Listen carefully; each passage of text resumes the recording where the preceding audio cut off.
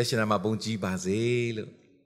ညနေလေမေတ္တာခံထမှန်ခံစားရတော့ကြောင့်ဝမ်းမြောက်တယ်ကျေးဇူးလည်းအထူးတင်တယ်ဘုရားသခင်တာ၍ကောင်းချီးပေးပါစေဆုတောင်းရအောင်ဘုရားသခင်တမန်တရားကိုအကျွင်းမဲ့တုန်တင်ပြတာပေးပါမည်အကြောင်းတန်ရှင်သောဝိညာဉ်တော်ကိုဟောဖိတ်ပါ၏တာကျွန်းကျွန်တော်မျိုးကိုတစားပလာနဲ့သုံးပါဂျာနာရတဲ့သူရောက်စတဲ့လည်းတီဆောက်စာဖြစ်စေဖို့ဖြစ်စေပါကောင်းချီးပေးပါချီးမွမ်းလေးယေရှုနာမနဲ့အနံပါတယ်ဖေယားအာမင် ဘုရားသခင်ရဲ့နှုတ်ကပတ်တော်ကအသက်ရှင်သောတကိုးနဲ့ပြည့်သော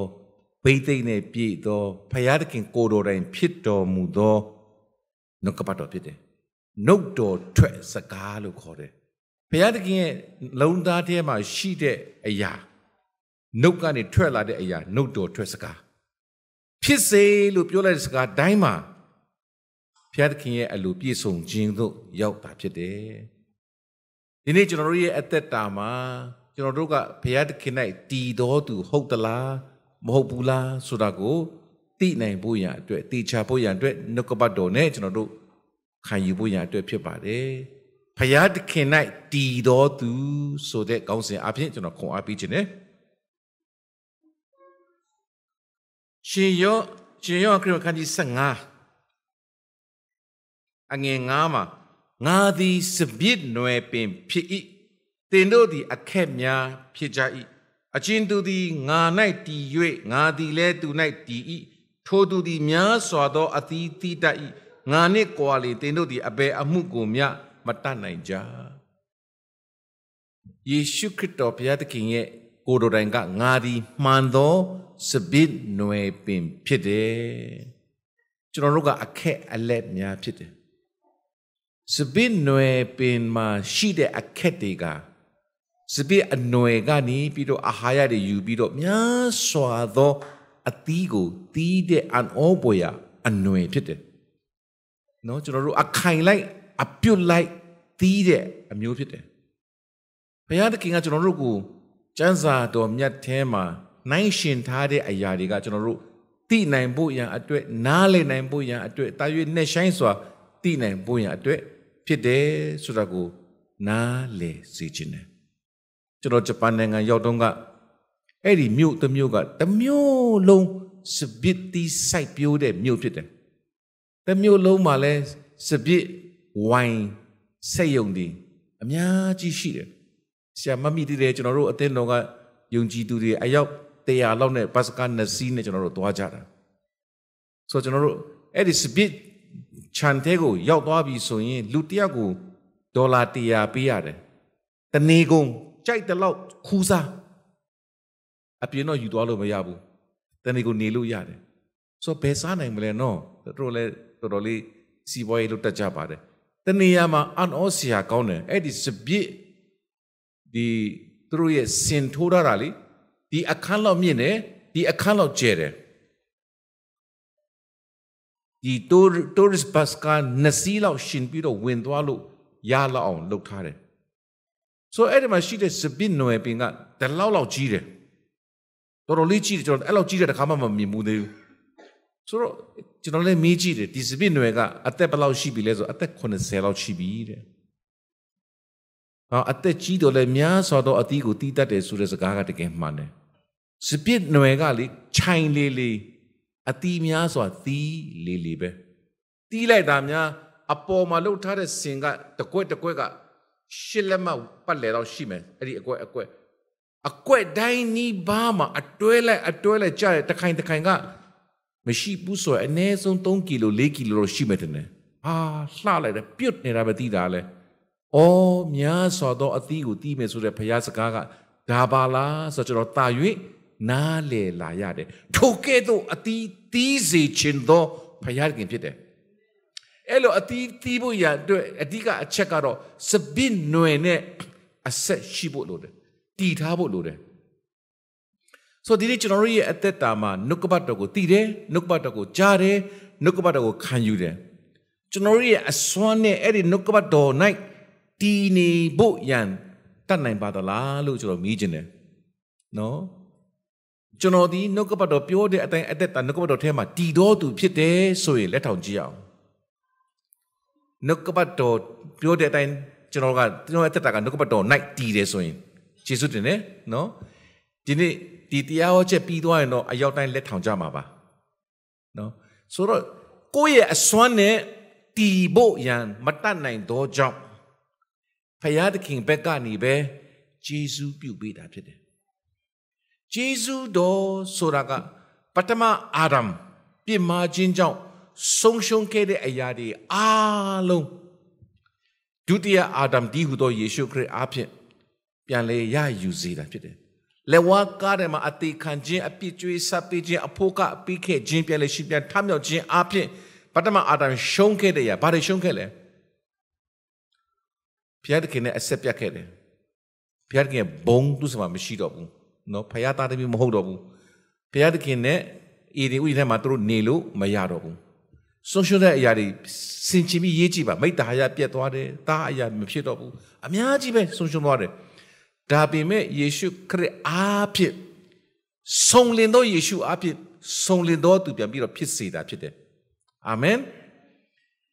ဘယ်လိုပြန်လဲဘယ်လိုပြန်လဲပြီးတော့ဖြစ်စေတယ်လေတဲ့နော်ယေရှုက ကယ်တင်ရှင်ဖြစ်တယ်ခရစ်တော်ဖြစ်တယ်ဆိုတာကိုယုံကြည်လက်ခံတော်သူကအဲ့ဒီယုံကြည်လက်ခံတဲ့နေ့မှာဆုံးရှုံးသွားတဲ့အရာတွေအားလုံးကိုပြန်လဲပြီးတော့ယေရှုအပြင်ရစေတာဖြစ်တယ်။ဟေဘရဲအခန်းကြီး30အငယ်14နော်ဒါနဲ့ဆိုဆရာပြောတာ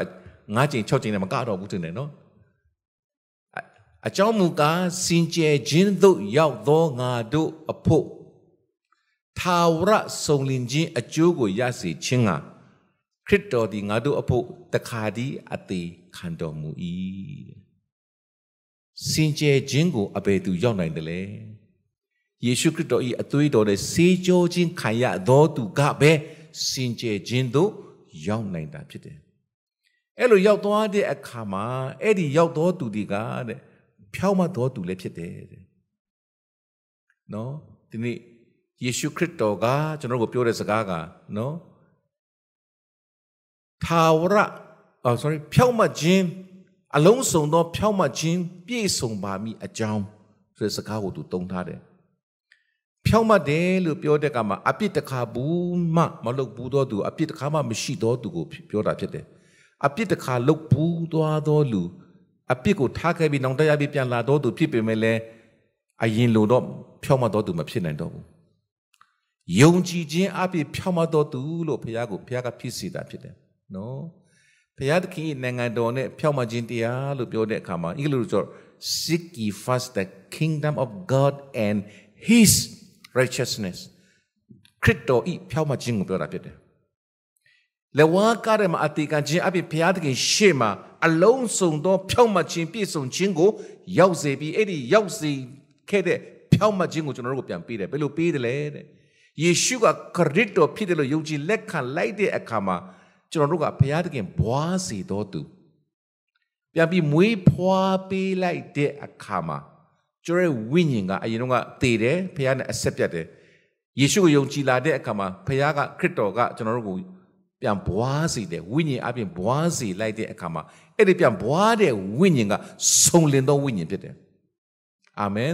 အာဒမ်အပြစ်တခါမှမကြဘူးခင်ဒုံကအခြေအနေအတိုင်းဖခင်ရဲ့တဒံနဲ့တညီတဒံတဲ့ဖခင်ရဲ့ဘုံနဲ့ပြည့်သောဝိညာဉ်ဖြစ်စေတာဖြစ်တယ်။အဲ့ဒီဝိညာဉ်အဖြစ်ဖြစ်စေတဲ့သူကဖခင်နဲ့ပြန်အဆက်ရတော်သူဖြစ်တယ်။လူမှာခန္ဓာကိုယ်စိတ်ဝိညာဉ်၃ပိုင်းရှိတယ်လို့တစ်ပင်မှာလည်းအခောက်အသားအနစ်ဆိုပြီး၃ပိုင်းရှိတယ်။အကိုင်းဆက်တဲ့အခါမှာနော်ကျွန်တော်တို့အရင်အခက်ကနေပြီးတော့ စပစ်တီအရင်အခက်ကဘာတီးမလဲအရင်အတီးတီးမယ်ဘောရှာတီးလို့ခေါ်တယ်နော်ဘုရားသခင်ကအေရှားထဲမှာပြောထားလဲနော်စပစ်ဝိရင်ကိုလှုပ်တယ်မြေကိုလည်းတူးဆွတယ်လင့်စင်ကိုလည်းလှုပ်တယ်စပစ်တီးနေရချင်းကိုလည်းလှုပ်တယ်စပစ်တီးကိုမျော်လင့်တယ်တဲ့တို့ရတွင်တဲ့ဘောရှာတီးကိုပင်တီးပါသည်တကား ဖျက်ခင်မျောလင့်တာကကောင်းသောအသုံးရသောစပြည့်ရညစ်လို့ရသောစပြစ်တီးကိုမျောလင့်တာဘောရှာတီးကဇီးပြူတီးလိုပဲမာမာချစ်ချစ်အရေးမထွက်ဘူးချင်းချင်းကြီးဖန်ဖန်ကြီးအချိုတတ်လည်းမရှိဘူးနော်ဆိုတော့တို့ရွှေပမာတွေကတော့အဲ့ဒီဘောရှာတီးကိုဘာလို့လဲခူးပြီးတော့ထောင်းပြီးတော့ငစိတ်ဆန်းငပိနဲ့ကြော်စားတာမစိုးစားလို့ကောင်းတာပဲဒါပဲစပစ်တော့စပစ်ရတော့ညစ်လို့မရဘူး ဆိုတော့ဘုရားသခင်လူချင်တာကကျွန်တော်မျိုးလင့်တာကစပစ်တီးတီးတာကဘောရှာတီးဘာကြောင့်ဘောရှာတီးတီးနေရတာလဲတမန်တရားကိုသိတဲ့အခါတမန်တရားကတင့်ကိုလွတ်ချင်းအခွင့်ပေးမှဖြစ်တယ်ကျွန်တော်တို့စပစ်တီကိုင်းဆက်တဲ့အခါမှာအရင်ပင်ကအခက်ကိုခုတ်ဖြတ်ပြီးတော့စပစ်နွယ်အကောင်းမှလာဆက်တယ်လို့ခေါ်တယ်ဒီအခက်ကအရင်တော့ကအရင်ဟုတ်တယ် အရင်အနွယ်နဲ့ဆက်တာဟုတ်တယ်ဖြတ်လိုက်တဲ့အခါမှာအရင်အနွယ်နဲ့အဆက်ပြတ်သွားပြီဖြစ်တယ်ပြောချင်တာကကျွန်တော်တို့ခရစ်တော်ကိုမသိခင်တုန်းကကျွန်တော်တို့ကလောကီတရားနှုတို့လိုက်၍အာကာသကောင်းကင်ကိုအစိုးတရားသောနတ်ဆိုးမင်းတို့၏အလိုနဲ့အညီဒုစရိုက်အပြစ်နဲ့ကျင်လည်၍ထိုဒုစရိုက်အပြစ်၌သေလျက်ရှိနေသောတင်တို့ကိုပင်ဘုရားသခင်သည်အသက်ရှင်စေတော်မူပြီတဲ့နော်ဆိုတော့ဒီနေ့ကျွန်တော်တို့ရဲ့အသက်တာမှာအစတုန်းကခရစ်တော်ကိုမသိခင်တော့ကျွန်တော်က မာနရဲ့လက်ထဲမှာရှိတော်သူစပစ်တီအရင်အနွယ်နဲ့ဆက်တော်သူယေရှုကမြင်အောင်ကြည့်အောင်အဲ့ဒါကနေပြီးတော့ဖြတ်လိုက်တဲ့အခါမှာအဆက်မရှိတော့ဘူးဒီနေ့မာနလက်ထဲကကျွန်တော်တို့အဆက်ပြတ်ဖို့ရအတွက်ဘယ်တော့မှပြတ်မလဲသေမှပဲပြတ်မယ်ဆိုတော့ယေရှုခရစ်တော်ကငါတို့အတွက်အသေးခံတယ်ဆိုတာကိုယုံကြည်လက်ကပြီးဝန်ခံလိုက်တဲ့အချိန်ဖခင်တခင်ရှေ့မှာကျွန်တော်တို့ကခရစ်တော်နဲ့အတူ တည်တော်သူဖြစ်တယ်ခရစ်တော်ရဲ့တည်ခြင်းနဲ့အတူတည်သွားတော်သူများဖြစ်တယ်ဒါကြောင့်မို့မာနရဲ့လက်နဲ့မာနစီကနေပြီးတော့ပေးတဲ့အကြံအဉာဏ်မာနရဲ့အတွေးအခေါ်တွေအားလုံးနဲ့အဆက်ပြတ်တော်သူဖြစ်တယ်အာမင်တခါတခါအတွေးအခေါ်တွေဇာတိရှိနေတဲ့ကမှာအဲ့ဒီဇာတိအပြင်စာရမဏကကျွန်တော်တို့ကိုလာပြီးတော့လှည့်စားတတ်တယ်ပြောလိုက်ပါဟေးမင်းနဲ့ငါနဲ့အဆက်ပြတ်ပြီလို့နော်မင်းနဲ့ငါနဲ့အဆက်ပြတ်ပြီငါနဲ့ဘာမှမဆိုင်တော့ဘူးနော်ကျွန်တော်တို့ ဆရာသူမြတ်ဆက်တဲ့တခြင်းလားထာဝရချစ်သူဆိုတဲ့တခြင်းလေးကျွန်တော်အရန်ကြိုက်တာပဲနော်စာရမဏလှည့်စားတော့သူအခုမင်းเจ้าငါသိပြီငါနဲ့မင်းနဲ့ဘာမှမဆိုင်တော့ဘူးအာမင်ဝန်ခံကြရအောင်အချင်းစာရန်မင်းနဲ့ငါနဲ့အဆက်ပြတ်ပြီယေရှုကိုခရစ်တော်အနေနဲ့ယုံကြည်လက်ခံတဲ့နေ့ကစပြီးမင်းနဲ့ငါနဲ့မဆိုင်တော့ဘူးအာမင် အဲ့ဒါတမန်တရားဝန်ခံခြင်းပဲအဲ့ဒါဝိညာဉ်တိုက်ပွဲပဲပေါ့တည်တည်မဟုတ်ဘူးနော်ဝန်ခံပါမကောင်းတဲ့အတွေ့အခေါ်တွေလာတဲ့ခါခါတိုင်းမှာဒီနှုတ်ကပတ်တော်ကိုသုံးပါအဲ့ဒါနှုတ်ကပတ်တော်ဓာတ်ကိုသုံးတယ်လို့ခေါ်တယ်နှုတ်ကပတ်တော်ကဓာတ်ဖြစ်တယ်ငါတို့တုံးဆွဲတဲ့လက်နက်ကဇာတိလက်နက်မဟုတ်ဘူးမြို့ရိုးမြို့ပြတဲ့ကိုဖြိုဖျက်တယ်တော့ဘုရားသခင်ရဲ့တကူတော်ဖြစ်တယ်အဲ့ဒါကဝိညာဉ်တော်ဒါပဲနှုတ်ကပတ်တော်ပဲ။ဒါကျွန်တော်ရဲ့တက်တာမှာဒါကိုနှုတ်ကပတ်တော်ကိုတိပြီးတော့ဝန်ခံတတ်ဖို့အရေးကြီးတယ်။ လူကဇာတိရှိနေတော့ကြောင့်အဲ့ဒီဇာတိနဲ့စာတမဏကအမြဲတမ်းလာပြီးတော့သုံးချင်တယ်။ကဲဇာတိရှိတော့ကြောင့်ဇာတိစိတ်ရှိသေးလား။ရှိတယ်။အခွင့်မပေးနဲ့။အာမင်။ဒါကြောင့်ကျွန်တော်အခွင့်ပေးခြင်းမပေးခြင်းကဆုံးဖြတ်ချက်ကတင်နေပဲဆိုင်တယ်စရမဏဘလောက်ပဲတွေးဆောင်ခြင်းခွန်အားဘလောက်ပဲကြီးပါလေစေဆုံးဖြတ်ချက်ကတင်နေဆိုင်တယ်ဘုရားသခင်အစကတည်းကရွေးချယ်ပိုင်ခွင့်ပေးထားပြီးသား ကောင်းမကောင်းတိကျောင်းအပြင်နှစ်ပင်ရှိတယ်အသက်ပင်ကိုစားမကောင်းမကောင်းတိအပြင်ဒီကိုမစားနဲ့လို့ပြောပဲလူကရွေးချယ်မှုမှားလားမှားလားမှားခဲ့တယ်ဂျုံပြန်တာပဲနော်တေခြင်းတရားလောကတဲ့ကိုဝင်လာခဲ့တယ်လူမျိုးနွယ်ဆက်တောက်လျှောက်အကျိုးဆက်ခံစားရတယ်ထုတ်စီတိုးကစားဘူးတယ်နော်ထုတ်စီတိုးကစားတယ်လို့ပေါ့ကွာအဖွဲနှစ်ဖွဲ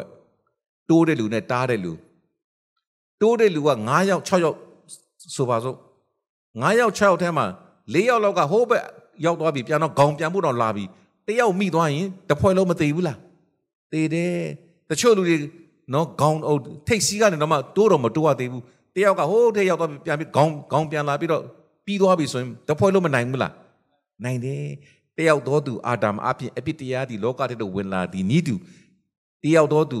ယေရှုခရစ်အပြင်လူအပေါင်းတို့သည်အသက်ရှင်ခြင်းသို့ရောက်ရတယ်တဲ့ဟာလေလုယာ အဲ့လိုခရစ်တော်ယုံကြည်ပြီးအသက်ရှင်လာတဲ့ဝိညာဉ်ကအသက်တော်ဝိညာဉ်ဖြစ်တယ်လူသစ်ဖြစ်တယ်အာမင်။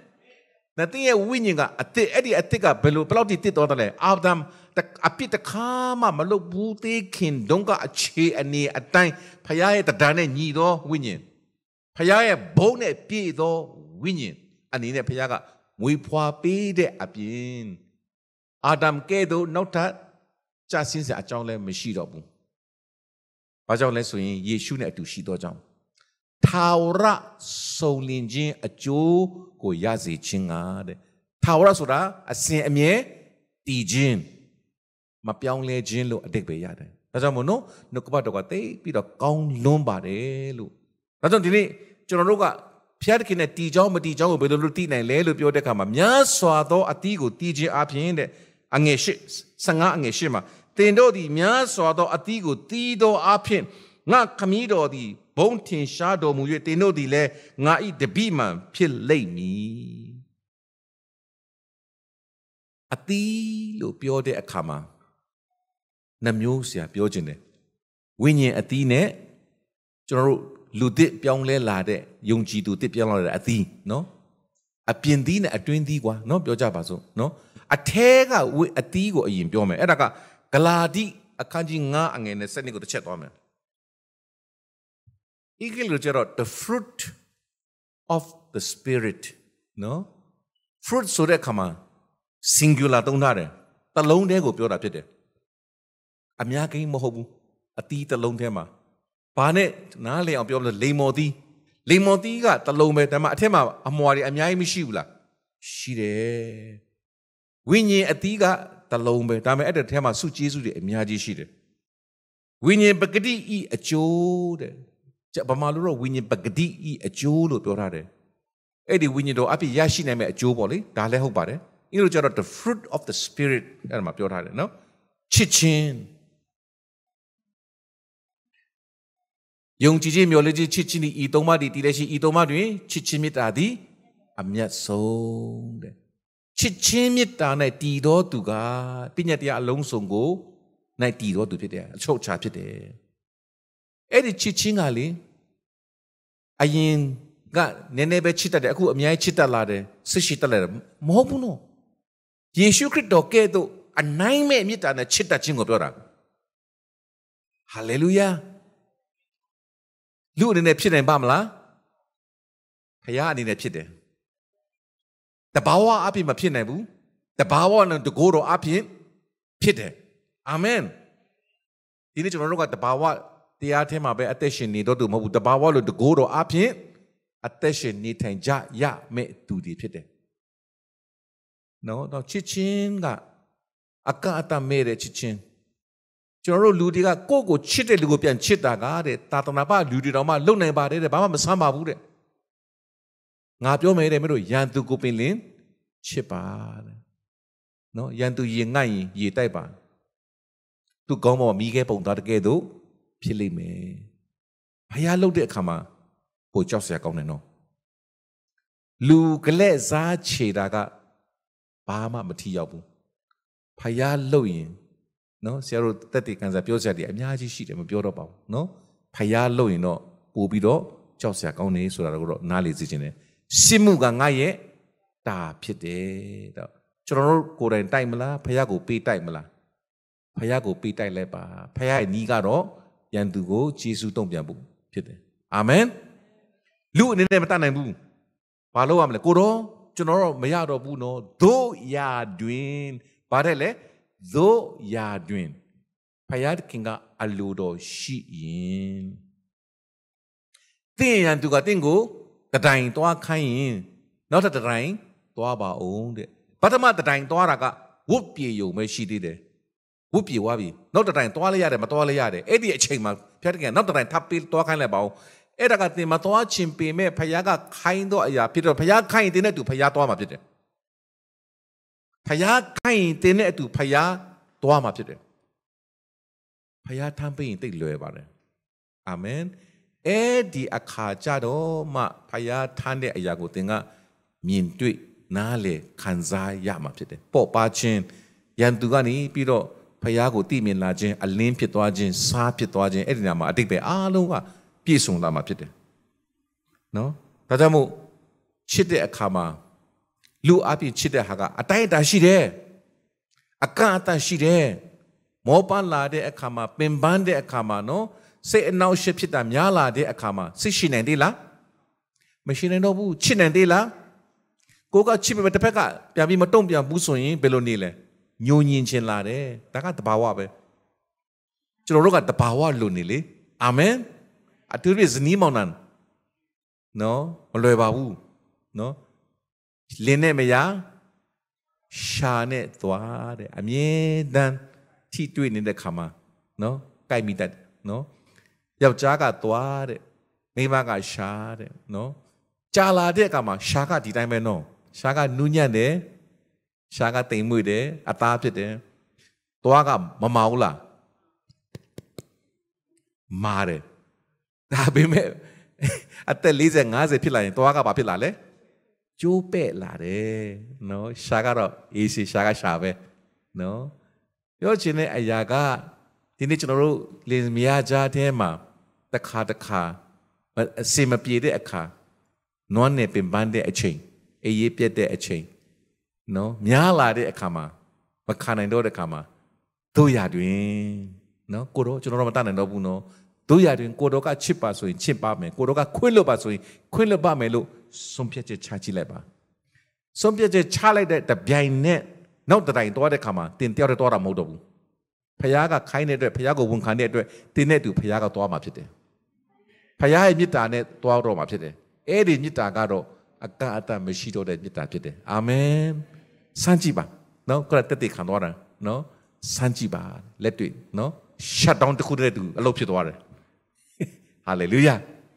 နော်ဒါကြောင့်မို့ဒီနေ့ကျွန်တော်ရဲ့တရားမှာချစ်ချင်းအတီးတွေအများကြီးပဲနော်အဲ့ဒီအတီးတွေအားလုံးတီးဖို့ဖရားလို့ရှိလားရှိတယ်စပစ်တီးတစ်ခိုင်မှာတစ်လုံးနဲ့တီးလားအများကြီးတီးလား အများကြီးတီးတယ်ဒီမှာကိုလုံးအဲလူတွေကနောက်တတ်တယ်နော်ဝိညာဉ်အတီးကိုလုံးပြီးသွားရင်ဆယ်လုံးမြောက်ကလက်တီးနော်တဲ့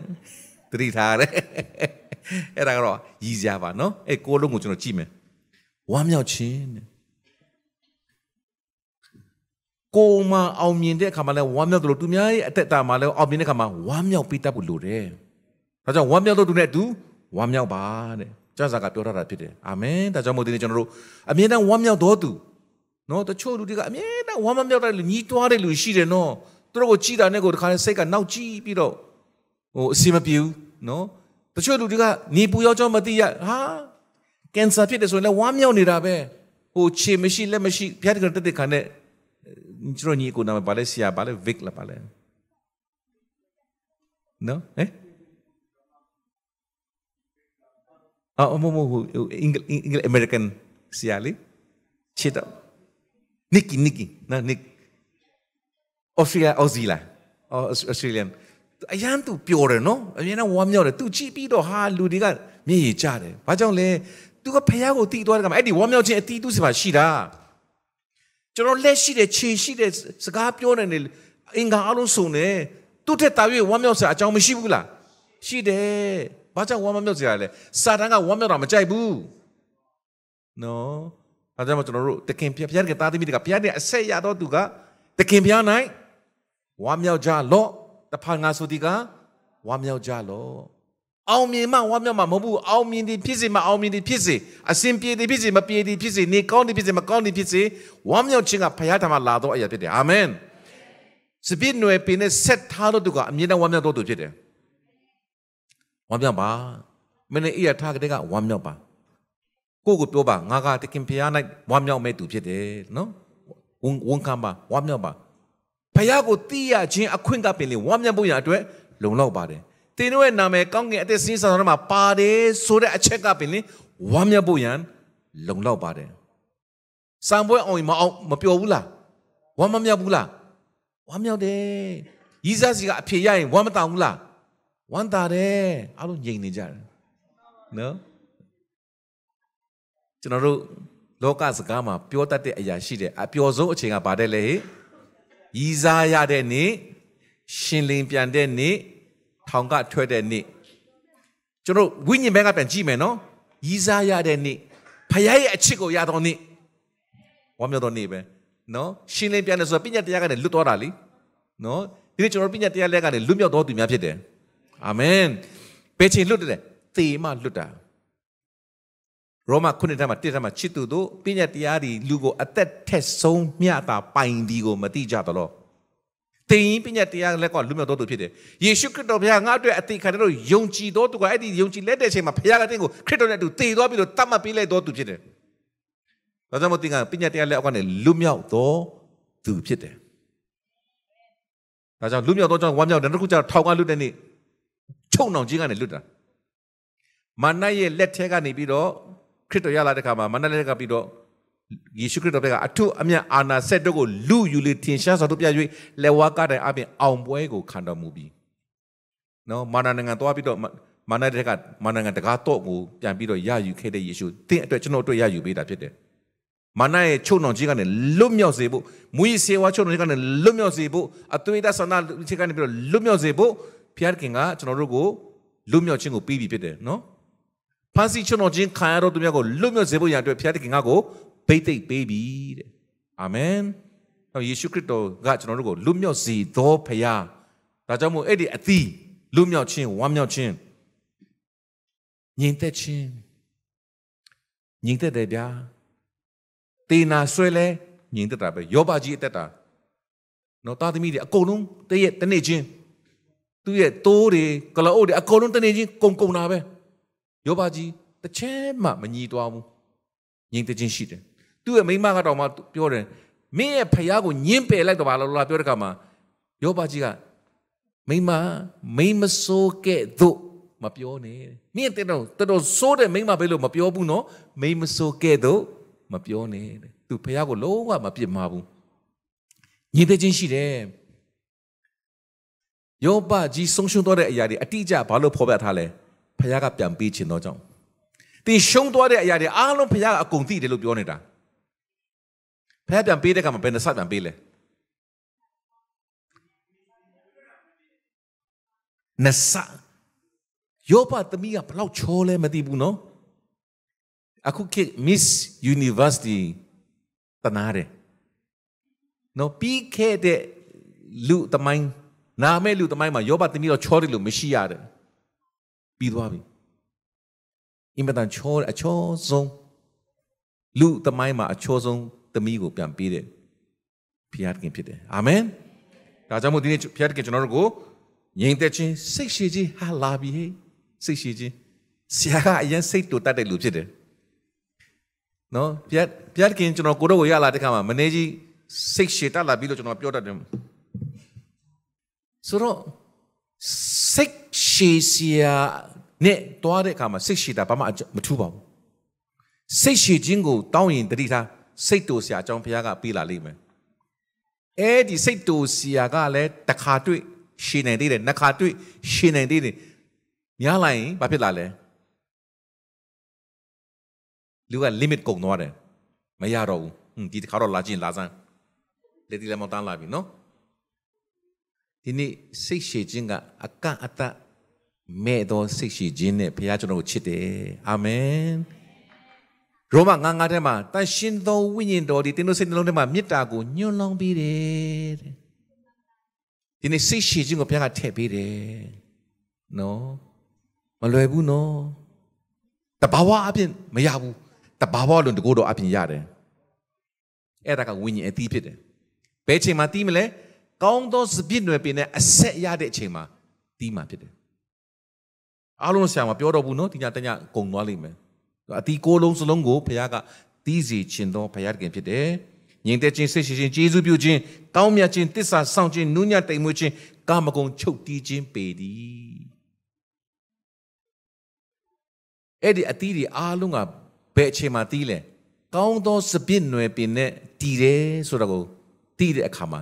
တမန်တရားကိုတီးတဲ့အခါမှာတီးလာမှာဖြစ်တယ်။ကဲကောင်းပြီကျွန်တော်တို့အားဖြင့်တဘာဝအားဖြင့်ကျွန်တော်မတီးနိုင်ဘူး။ခုနလက်မထောင်ကြဘူး။ဒါပေမဲ့ကျမ်းစာကဘာပြောလဲဆိုရင်တိယောအခန်းကြီး၄အငယ်15မှာတိုက်ဆိုပေးပါယေရှုသည်ဖျားသခင်ဤသားတော်ဖြစ်တော်မူသည်ကိုဝန်ခံတော်မူဝန်ခံတော်သူမီဒီကခဏရမယ်နော်ကဲယေရှုက ခရစ်တော်ဖြစ်တယ်လို့ကယ်တင်ခြင်းဖြစ်လို့ဝန်ခံတဲ့လူတွေထောင်ကြည့်ရအောင်ယေရှုတင်တယ်အဲ့ဒီဝန်ခံတော်သူမီဒီကတဲ့ဖယားသခင်၌တတီဤတဲ့ဟာလေလုယာကိုကတီနေလို့တီတာမဟုတ်ဘူးယေရှုကခရစ်တော်ဖြစ်တယ်လို့ဝန်ခံလိုက်တဲ့အချိန်ဖခင်ဘက်ကနေပြီးတော့တီစီတယ်လို့ဖခင်ကဝန်ခံပေးတာဖြစ်တယ်ဒါဆိုအဲ့ဒီယုံကြည်ခြင်းကဘုရားတကယ်စိတ်တော်နဲ့တွေ့သောယုံကြည်ခြင်းလို့ခေါ်တယ် ဆေလွတ်တော်မူသောသားတော်ယုံကြည်ခြင်းကဘုရားစိတ်တော်နဲ့တွေ့သောယုံကြည်ခြင်းဖြစ်တယ်ယေရှုနေချင်းစာယောဟန်လက်ထဲမှာနောင်တနဲ့ဆက်ဆံတဲ့ဗတ္တိဇံမင်္ဂလာခံယူပြီးပြန်ထလာတဲ့အခါမှာကောင်းကင်ကဖွင့်ပြီးပါပြောလဲဤသူသည်ငါနှစ်သက်မြန်တို့ရာငါဤချစ်သားပေသည်နော် my beloved son and I am well pleased with him အဲ့ဒီအချိန်မှာခရစ်တော်အထက်မှာတင်းနေကျွန်တော်မရှိသေးတော့လေဘုရားသခင်ရဲ့စီမံကိန်းကယ်တင်စီမံကိန်းထဲမှာကျွန်တော်ရှိပြီးသားဖြစ်တယ်အေဖက်1:3မှာဘုရားသခင်သည်ငါတို့ကိုယေရှုခရစ်အားဖြင့်ကဘာမတီမရှိမိကလေးကရွေးကောက်ထားပြီးသားဖြစ်တယ်အာမင်အဲ့ဒီရွေးကောက်ခြင်းစီမံကိန်းအကြံအစီကတင်အင်္ဂလိပ်ရင်စကားကြားပြီးတုံ့ပြန်လဲတဲ့အချိန်မှာတင်အတွက် kairos လို့ခေါ်တဲ့ divine time အချိန်ပြည့်စုံခြင်းဘုရားသခင်ရဲ့အကြံစီတော်ပြည့်စုံခြင်းကိုရောက်တော့တာဖြစ်တယ်အဲ့လိုလက်ခံဖို့ကလည်းတင်က smart ဖြစ်လို့လက်ခံရတာမဟုတ်ဘူးအဖခမည်းတော်ကတင်ကိုဖွင့်ပြတော့ကြောင့်တင်ကလက်ခံရတာဖြစ်တယ်ယေရှုကခရစ်တော်ဖြစ်တယ်ဆိုတာကအသွေးအသားကပေါ်ပြလို့တင်သိတာမဟုတ်ဘူးတဲ့ကောင်းကင်ဘုံအဖကပေါ်ပြတော့ကြောင့်တင်ကသိရတာဖြစ်တယ်ဟာလေလုယာ ဒါကြောင့်မို့ဘုရားသခင်ဘက်ကကြီးတယ်ပဲလုပ်ပေးတဲ့အရာဖြစ်တယ်ခုနရဲ့ဝိညာဉ်ခုနတော့ကဝိညာဉ်ကျွန်တော်တို့ဘုရားသခင်နဲ့ပြန်အဆက်ရဖို့ဘုရားသခင်နဲ့ဆန်ချိန်မှီတဲ့ဖြောက်မှခြင်းရောက်ဖို့စီခြင်းရောက်ဖို့လူဘက်ကတဘာဝအပြင်ဘလို့မှမတတ်နိုင်ဘူးပညာတရားကိုအလုံးစုံကိုကျင့်သိတဲ့အောင်ပညာတရားကျွန်တော်တို့စုံလင်ခြင်းကိုမရောက်စေနိုင်ဘူးတဲ့ပညာတရားကအားနေတယ်နောက်ဒုတိယဝတ်ကိုတည်စေဖို့ပထမဝတ်ကိုဘုရားကတည်စေတယ်ပထမဝတ်ကိုပယ်ဖြတ်ဒုပထမဝတ်ကို ဒုတိယဝတ်ကိုတည်စေဖို့ပထမဝတ်ကိုပယ်တယ်ပထမဝတ်ကမောရှေအပြည့်ပြည့်တဲ့ပညာတရားဒုတိယဝတ်ဆိုတာကဒုတိယပဋိညာဉ်အသွေးတော်တည်သောပဋိညာဉ်တရားပဋိညာဉ်တရားအဖြစ်မောရှေရဲ့ပညာတရားကိုပယ်ပလိုက်တာဖြစ်တယ်ပညာတရားအဖြစ်မရောက်နိုင်တဲ့အရာကိုယေရှုခရစ်အဖြစ်ရောက်စေတာဖြစ်တယ်အဲ့ဒါကိုပြောတာကဲအဲ့ဒီအကြောင်းအရာကိုနှစ်ကောအခန်းကြီး1အငယ်27ကိုကြည့်အောင်နှစ်ကော1 27နော် ဆရာနောက်ကိုလိုက်ဆိုစီခြင်းပါတယ်တင်တို့နှင့်ငါတို့ကိုခရစ်တော်၌တည်စေ၍ဗိသိက်ပေးတော်သူကဖယားသခင်ပေသည်ဘုရားသခင်ဖြစ်တည်း sorry ဘုရားသခင်ဖြစ်တည်းနော်ဆိုတော့ယေရှုကခရစ်တော်ဖြစ်တယ်ဆိုတာကလည်းဖယားကဖွင့်ပြလို့ရတာဖြစ်တယ်လို့ ဒီနေ့ကျွန်တော်တို့ကခရစ်တော်နဲ့တည်တယ်ဆိုတဲ့အရာကလည်းတန်ရှင်တော်ဝိညာဉ်တော်ဗိသိက်ပေးခြင်းဖွင့်ပြခြင်းအပြင်ဘုရားသခင်ကကျွန်တော်ကိုသိစေတာဖြစ်တယ်တဲ့အာမင်ဘုရားသခင်သားဖြစ်တယ်ဆိုတော့ကလည်းဝိညာဉ်တော်ကပဲဖွင့်ပြလို့ကျွန်တော်တို့ကစိတ်ချခြင်းကိုရတာဖြစ်တယ်ဘုရားသခင်ဘက်ကလုပ်ပေးတာဝိညာဉ်နဲ့ပတ်သက်ပြီးဘုရားနဲ့ပြန်အဆက်ရဖို့လူဘာမှမတတ်နိုင်ဘူးဘုရားဘက်ကလုပ်ပေးတာဖြစ်တယ်လူဘက်ကလုပ်ရမှာနှစ်ခုရှိတယ်အဲ့ဒါကကျွန်တော်တို့စိတ်နှလုံးအသစ်ပြင်ဆင်ပြီးတော့ခန္ဓာကိုပြောင်းလဲဖို့ရန်အတွက်ဖြစ်တယ် do not conform the world renew your mind เนาะကျွန်တော်တို့စိတ်နှလုံးကိုအသစ်ပြင်ဆင်ရမယ်ခန္ဓာကိုပြောင်းလဲရမယ်အဲ့ဒါကကျွန်တော်ဘက်ကလိုရမယ့်အရာဖြစ်တယ်ခုနစပြည့်နွယ်ကိုပြင်ပြန်သွားမယ်เนาะစပြည့်နွယ်လူမှာခန္ဓာစိတ်ဝိညာဉ်၃ပိုင်းရှိတယ်စပြည့်နွယ်မှာလည်းအခောက်ရဲ့အသားရဲ့အနစ်ရဲ့၃ပိုင်းရှိတယ်အဲ့ဒါအဆက်ရသွားတယ်လို့ပြောတဲ့ကအဆက်ရမှစီးစင်းလာတာမှာနော်အဆက်ဖြစ်သွားမှတုံးကုစလုံးဆက်သွားမှစီးစင်းလာမှာအခုကျွန်တော်တို့ဘုရားနဲ့တည်ဖို့ရတဲ့ဘုရားကလုပ်ပေးပြီးပြီလား လုပ်ပေးပြီးဒါကြောင့်ကျွန်တော်တို့ကိုမိကုန်းပြန်မေးမယ်ဆိုတော့ကတချို့လက်မထောင်တဲ့လူတွေနော်အခုဆိုနားလည်ရင်တော့ထောင်ဖို့ပဲဖြစ်တော့တယ်ပေါ့နော်ကျွန်တော်တို့ကယေရှုခရစ်အားဖြင့်ဘုရားသခင်ရဲ့ဘုရားသခင်၌နှုတ်ကပတ်တော်နဲ့တည်တော်သူဟုတ်ပါသလားဟုတ်တည်တယ်ဆိုရင်လက်ထောင်ကြည့်အောင်အခုအလုံးထောင်သွားပြီ praise the lord နော်ကိုလို့လို့တည်တာလားဘုရားဘက်ကလုပ်ပေးလို့တည်တာလားဘုရားဘက်ကလုပ်ပြီးတည်ပြီးဆိုရင်ဘာလို့ဘာလို့တော့မလဲအတီးတည်တော့မယ်တည်ခြင်းရဲ့လက္ခဏာ တည်ခြင်းရဲ့တက်တည်ကအတီးတည်ခြင်းပဲခန္ဓာနဲ့စိတ်ဝိညာဉ်ဘက်ကဘုရားလုပ်ပေးတယ်ခန္ဓာနဲ့စိတ်ကကျွန်တော်တို့ကလောရမယ်ကန္တာအဲ့ဒါက daily process နော်နေ့စဉ်နေ့တိုင်းဘယ်အထိလုပ်သွားရမှာလဲခရစ်တော်ဤဘုံအသရေနဲ့ပြည့်စုံသောခန္ဓာကိုကဲ့သို့ဖြစ်သည့်အထိကျွန်တော်ရဲ့ယုံညံ့သောခန္ဓာကိုယ်ပင်လင်ဘုရားသခင်ကဖြစ်စေမယ်တဲ့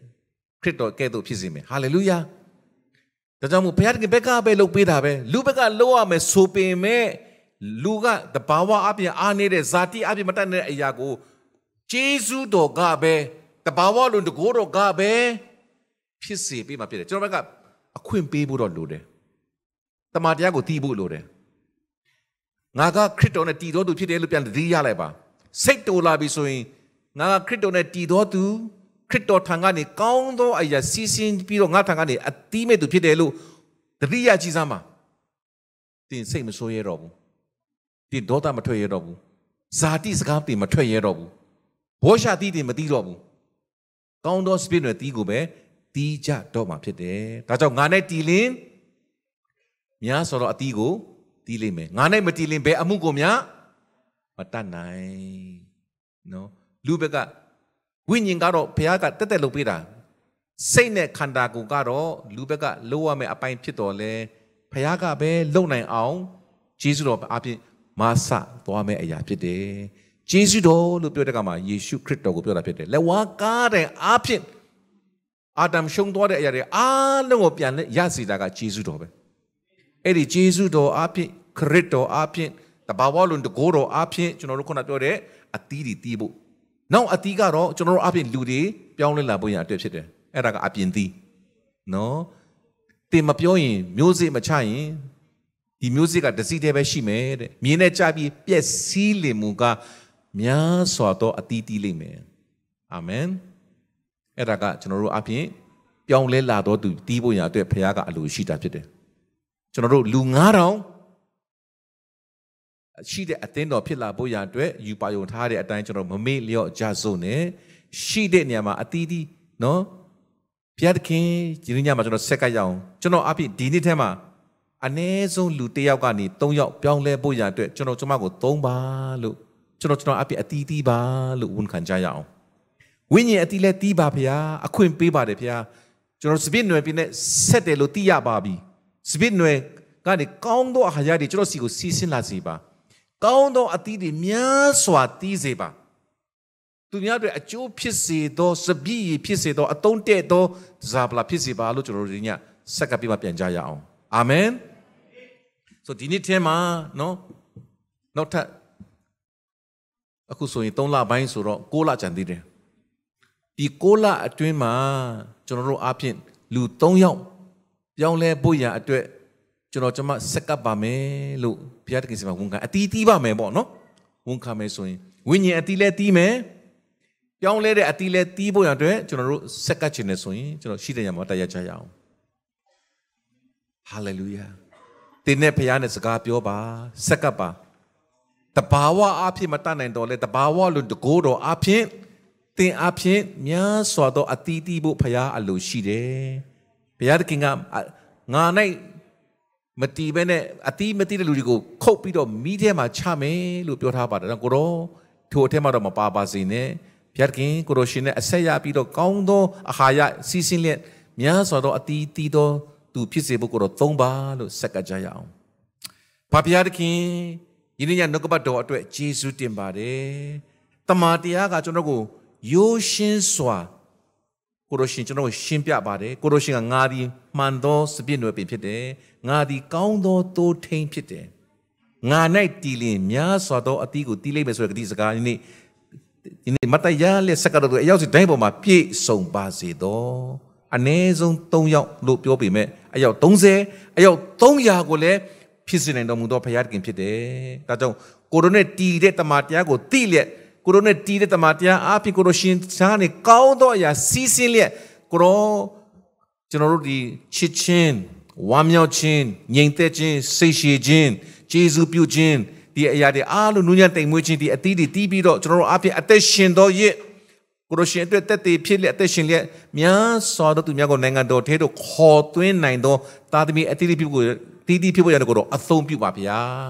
ကိုတော့ကိုဂျေစုတင်တယ်ဂျေစုတင်တယ် ဒီနေ့ဆက်ကကြတဲ့တာပီတယောက်စီတိုင်းအဖြစ်ကိုတော့အ ਨੇ ဆုံးဒီနေ့မှာ3ယောက်အတီး3လုံးနဲ့ဝိညာဉ်အတီး6လုံး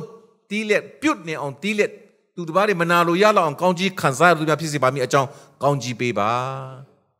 ဖာခမီတော်၏မေတ္တာတော်ဒီ၎င်းသားတော်ခင်ယေရှုခရစ်တော်ဘုရားဤဂရုဏာတော်နှင့်တန်ရှင်သောဝိညာဉ်တော်ဘုရားဤမိတ္တဟာယဖွဲ့ခြင်းတမန်တရားကိုဖွင့်ပြခြင်းကိုရရှင်ဂတိတော်အတိုင်း ဖြစ်လာခြင်းတို့သည်ယနေ့အဝပြုကိုးကွယ်လဲနှုတ်ကပတ်တော်ခံယူကြသောသားသမီးတယောက်စီတိုင်းပေါ်မှာနိမဆာလက်ကာလအစဉ်အမြဲတည်ရှိတည်နေပါစေသောအာမင်